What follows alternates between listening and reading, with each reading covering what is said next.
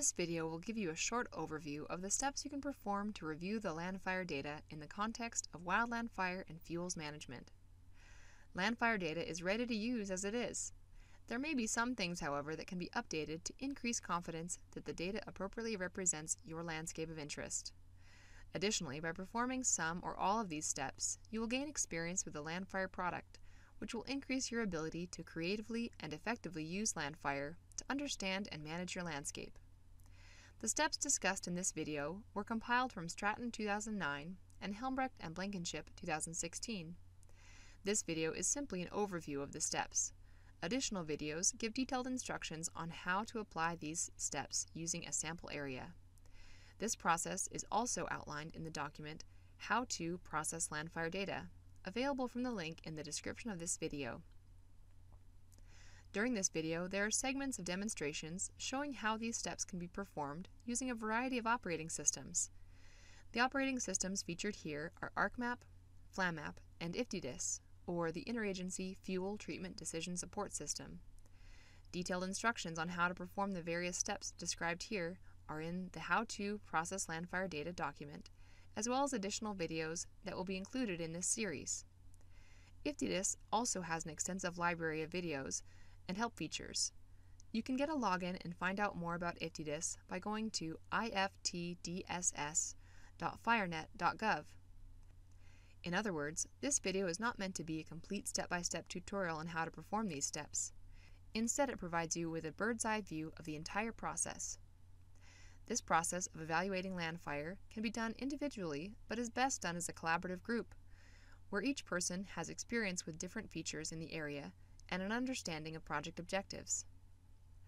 Step 1. Define objectives. What are you going to be using the landfire data for?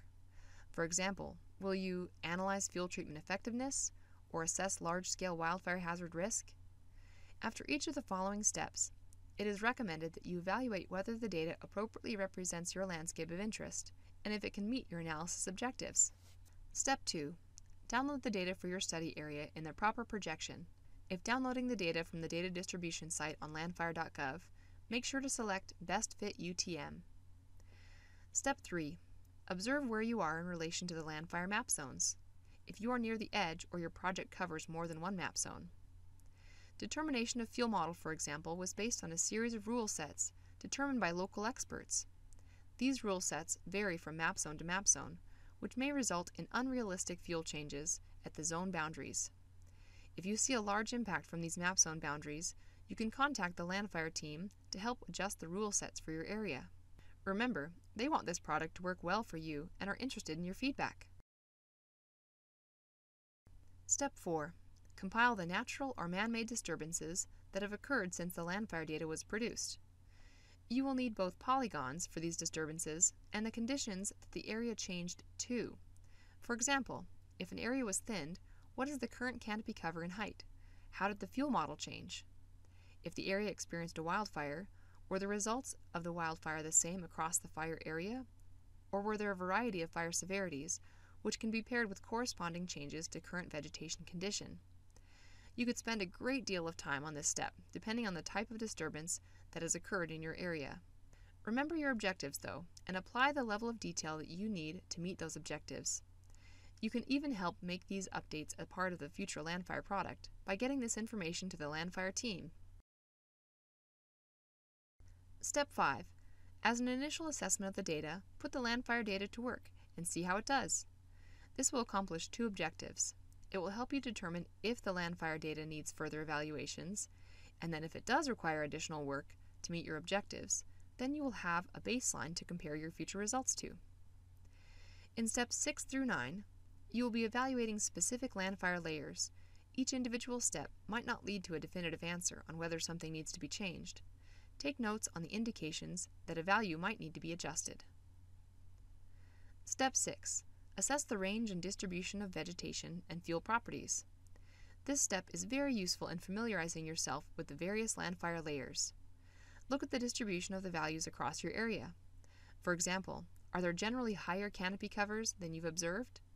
Are the most prominent fuel models from the landfire data different from what you've observed? Step 7. Confirm non-burnable areas. By separating out the non-burnable areas and looking at them over aerial imagery from the area, you can see what Landfire is classifying as non-burnable. You may also see areas that are not classified as non-burnable that may look to be. If they are not classified as non-burnable, then what are they classified as? And could that be something that needs to be adjusted? Make sure to look across elevation ranges. Step 8. Combine layers. Due to the way the landfire layers are created, there will be inherent relationships between the layers. This process is important to supply additional evidence of potential changes that you've been building evidence for. By combining, for example, fire behavior fuel model, existing vegetation type, and canopy cover, you can see which combinations are the most common in your area and if those combinations make sense. For example, a timber litter fuel model that is shown to have a canopy cover of less than 30% may be a piece of evidence that the timber litter fuel model is not appropriate for that area.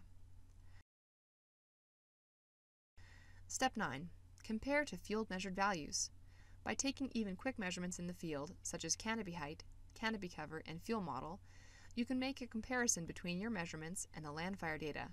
This may lead you to make changes in the landfire data, or it could just lead you to an increased ability to interpret the results from landfire. You are now ready to make the appropriate updates to the landfire product and see how it works.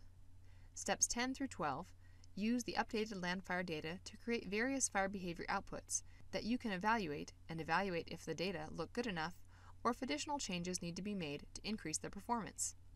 These steps require additional skill in fire modeling. Step 10 General Fire Behavior. Compare modeled fire behavior outputs to observed or expected fire behavior across the site. Start with non burnable areas and then move to areas where you would expect moderate to high fire behavior. Step 11 Crown Fire. Compare forested areas of high fire severity, represented by MTBS, or Monitoring Trends in Burn Severity, with flame length and crown fire occurrence. Try varying the inputs for the fire behavior modeling, such as the foliar moisture, which influences the transition to crown fire. Step 12 Fire Growth. Model fire behavior for one or two days from a reliable ignition source, either the original ignition point of the fire or the active fire edge from a previous day's fire perimeter. Make sure all other inputs are as close as possible to conditions experienced on the burn day. Adjust inputs as needed to obtain a modeled perimeter that is close to the observed perimeter. If the results from steps 10 through 12 do not match with observed or expected fire behavior, it may be appropriate to go back to step 6 and see if additional changes need to be made. Performing any of these steps will increase the accuracy and confidence in the landfire products. It will help with short and long term predictions of values at risk do what you have time and ability to do. If you do find consistent differences between what exists in your area and the data from Landfire, please share what you find with the Landfire team so that they can consider how to resolve these differences in future versions of Landfire. The feedback you provide not only benefits you, but it benefits others with a one stop shop source of important updated data. This video provided a quick overview of the evaluation process. There are several foundational documents that will be very helpful as you start on your evaluation process. And there is a growing library of resources on the Landfire Video YouTube channel that will show you how to perform these individual steps using various tools. Are there specific training videos that you would like to see from the Landfire team? Leave a comment below and tell us what you would like to see next.